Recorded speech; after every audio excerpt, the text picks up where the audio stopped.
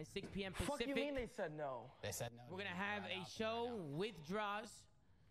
Uh, he's gonna come on for like five minutes. We Kason's gonna come on and talk a little bit about the leak with time. Kason, about him being co-owner. Where the fuck is Gersh? Um, and guys, I'm really excited for this roster, man. Like on, on some real shit, on some real shit, man.